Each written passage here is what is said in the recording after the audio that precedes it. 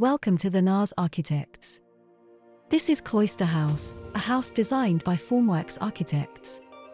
This house is located in Johor Bahru, Malaysia. The house is built for a client and his extended family who seeks a communal way of living but cherishes privacy and security in Leisure Farm Estate, Johor Bahru. The family entertains frequently and needed the house to be generous when hosting huge parties and cozy with smaller affairs.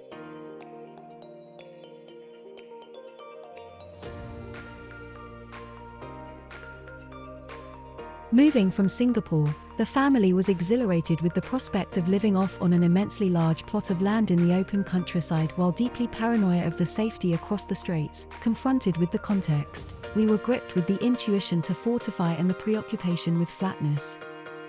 Considering the size of the plot, it came to us almost immediately to build a single-story mansion.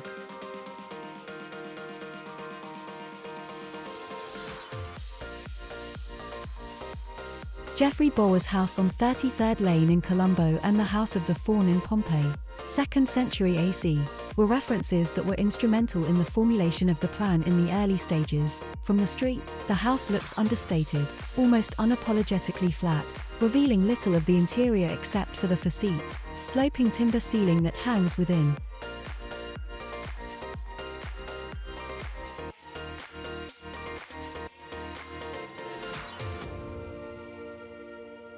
The 5m tall walls fortify the interior and encapsulate the roofs that slope inwards to the courtyards. Within the compound, the main bulk of the house, where communal living and entertaining occurs, is compacted over a third of the plot size, freeing up a vast expanse of space for a back garden.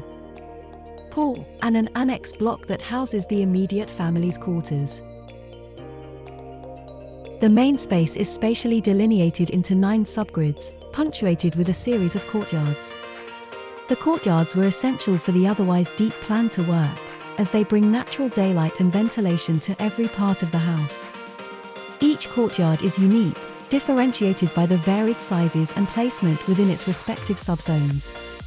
Each has a different garden that responds to the differing openness to the sky and the way rain gathers and free fall into the courtyards from the varying roof slopes which are geometrically determined by the courtyard's placement and dimension. The living spaces are clustered, organically arranged, and rearranged over time, weaving freeing amongst the interspersed cloister. A dominant interior feature that characterizes the different, interconnected cloistered spaces is the multifaceted, merbau timber ceiling that slopes from the high ridges towards the courtyards. At nightfall, fragments of these undulations are revealed through a glass strip of the facade, revealing the intricacy within.